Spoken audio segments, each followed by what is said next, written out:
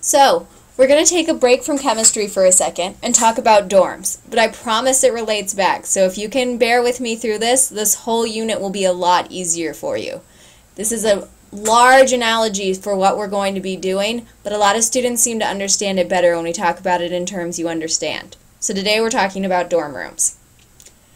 Imagine you had to live in a seven story dorm that had no elevator and just stairs. Which floor would you want to live on and why? Most of you are probably thinking you'd want to live fairly close to the bottom because you don't want to be climbing seven sets of stairs every day to get to your dorm room. And that's the logic of the university you go to. So the do dorm building you live in has four types of rooms. The first is the S rooms, and those are the super rooms. They are the best rooms, they are the biggest. Everyone wants an S room. Then there's the P rooms, which are the pretty good rooms. They're not as big as the S rooms, but they're still pretty nice. There's enough room for all of your stuff. D rooms the dumpy rooms. They're kind of small and not the best. Last is F, the fantastically bad rooms, and most people have closets bigger than these rooms. So it's a tight squeeze for you and your roommate.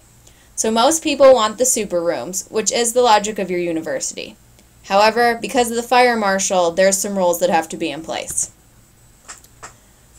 You have been placed in charge of assigning students to dorm rooms. You must follow these guidelines when you assign them, and these are drafted by the school and the fire marshal. You can only have a maximum number of two students in any one room. Everyone gets a roommate. Students must live as close to the first floor as possible. The fire marshal told us that even though the S rooms are the best, you can't have people all the way up on the seventh floor in an S room if you don't have the rooms below them filled. When filling one type of room, all rooms must be full before going on to a different type of room. So everyone in an S room, for example, has to have a roommate before you can start filling the P rooms on that same floor.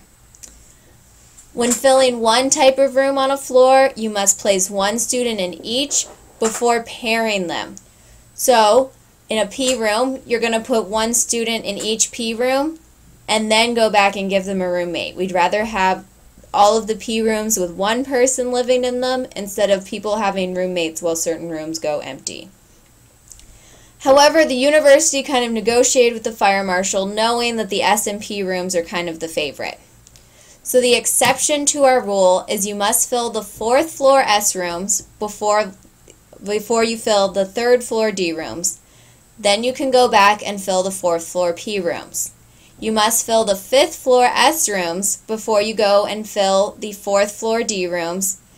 Then you can go back and fill the fifth floor P rooms. So they're kind of letting us fill at least the S rooms on the next floor before the D rooms. It's kind of a nice trade off for you. However, it's going to make assigning rooms a little bit confusing for you, but I think you'll get the hang of it. So this is what your dorm building looks like only have one S room on the first floor. We have an S room on the second floor and then three P rooms. On the third floor, we have the S room, three P rooms, and then five D rooms. But remember, according to the exception, on this third floor, you're going to fill your S and P rooms and then go up and fill your fourth floor S room up here. So we're going to get to fill that. Then you're going to go back and fill the D rooms down here. And then you can go up and fill those P rooms next. And you can do that on every floor. All right. First semester, you have 10 students to place in your dorm room. They thought they'd give you a break. So we're going to put tallies in our dorm building as to where everyone goes. So we go back to our picture and we're going to put in 10 people. So looking at your tallies, you put one person here, give them a roommate because we don't go onto that second floor until everyone has a roommate. So we go up. In the S, we give everyone in a roommate in one type of room before going to the next. So in this S room, this person gets a roommate. Now we can move on to our P rooms. We still have six people left to place. So we go five, six, seven, three left. So instead of going to the next floor, we give them roommates. Eight, nine, ten. So we have two people living in a first floor S room, two people living in a second floor S room, and six people living in third floor P rooms.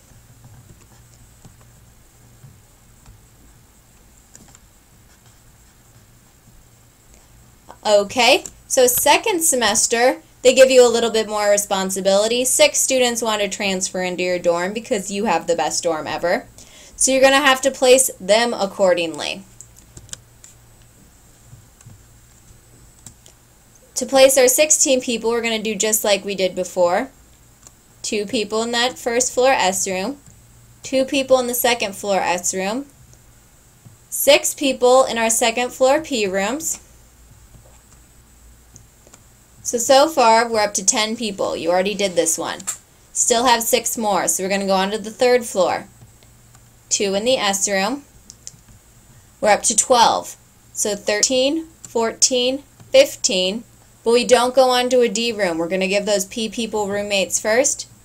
16. Not so bad. If you had trouble with this, bring your questions tomorrow. Because you did such an awesome job, the university wanted to give you a chance to do this in an easier way. Instead of just drawing tallies in your dorm building, they wanted to give you the chance to develop a shorter way. And the best way to do this is you're going to use big numbers for the floor number, letters for the type of room, and then a superscript, which is a small number up top, to tell us the number of students in any one type of room. So a great example is for nine students, you would have 1S2, 2S2, 2P5. So let's do some tallies and look at that. So if we were drawing in for our nine people, we would have put two people in this room, two people in this room, and then gone six, seven, eight, and person 9 would have ended up in there for a total of four people in the P rooms.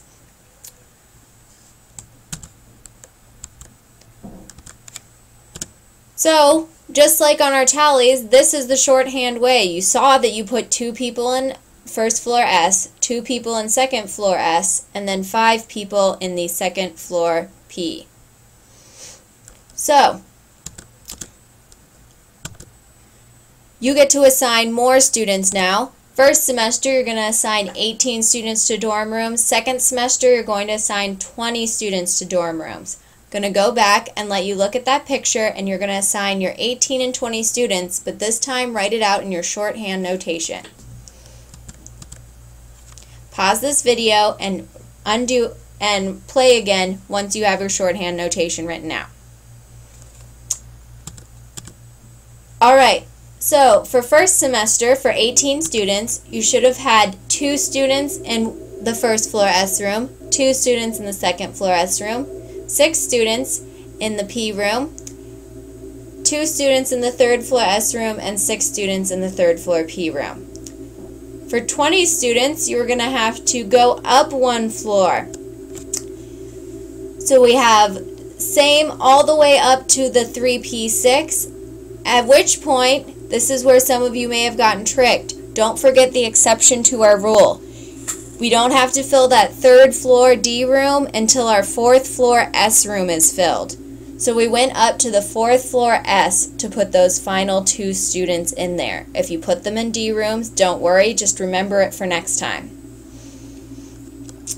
All right. You did such an awesome job last year, the university put you in charge of a second dorm building. So you have a lot more students to place this year. First semester, you have 23 students in dorm 1 and 27 students in dorm 2. Second semester, you have 30 students in dorm 1 and 35 students in dorm 2. Pause this video, take a second, and write the shorthand notation out on your own. You can look at this building while you do it, but make sure that you have those numbers written down before you unpause this video.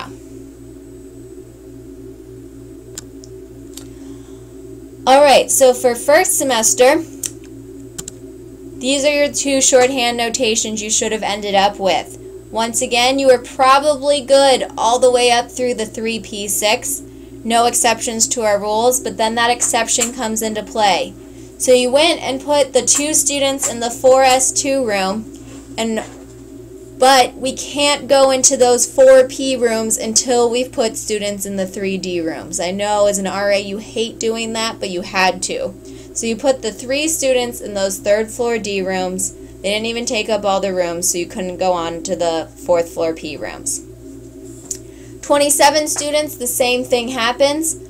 You filled up the third floor, you went on to the, you filled up the third floor S and P rooms. Then you got to go to the fourth floor S rooms before you had to do the third floor D rooms and you only filled in seven students there, so you didn't have to go on to the fourth floor P rooms. Second semester, things went a little bit differently. So with 30 students, you actually filled up all of your third floor D rooms, but you still didn't have to go on to a fourth floor S room. For 35 students, though, when you filled up your fourth floor, your third floor D rooms, you got to go back to the fourth floor and start filling in those P rooms with the remaining six students. I know these shorthand notations are still kind of long, but imagine if you had to draw all these tallies. If you weren't getting these notations, write down any questions you have and bring them to class tomorrow. The reason it's important you understand this because I know what you're thinking. These are all about dorm rooms, Ms. Hinkson. None of this really matters. The reason this all matters is the connection to chemistry. So, how does placing students in a dorm room relate to chemistry? It's all about what we're going to be talking about this whole unit, which is electrons.